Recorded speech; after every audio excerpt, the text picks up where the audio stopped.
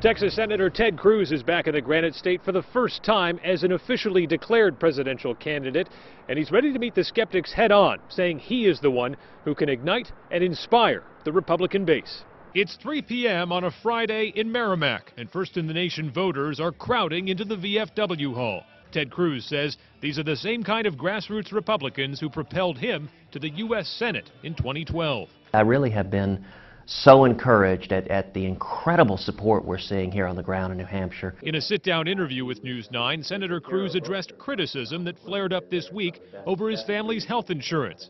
With his wife joining his campaign and leaving her private sector job, Cruz, the fierce opponent of Obamacare, will be obtaining the coverage offered through his employer, the federal government. A lot of folks in, in the, the mainstream media, the national media, tried to play gotcha and to say, well, that means you're on Obamacare. Look, Every one of us is bound by the law. Obamacare is a disaster, and no one has fought harder to repeal it, but I'm also fighting for a flat tax.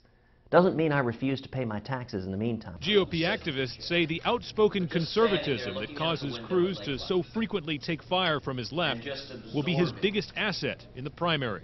Well, I think the strength he brings is that he's a true conservative, a constitutionalist, and I think there's a lot of voters in New Hampshire looking for that. Trying to stand out from what could be a crowded field, the senator is encouraging Granite Staters to press other White House hopefuls to show what they've done to defend the Constitution. And that's one thing I have a lot of faith in the people of New Hampshire. They're going to ask those questions, and they're going to make the judgment for every candidate who has actually walked the walk rather than just talking the talk. This is a two-day swing through the state for Senator Cruz. On Saturday, he'll be meeting with Republicans on the seacoast for brunch in Greenland.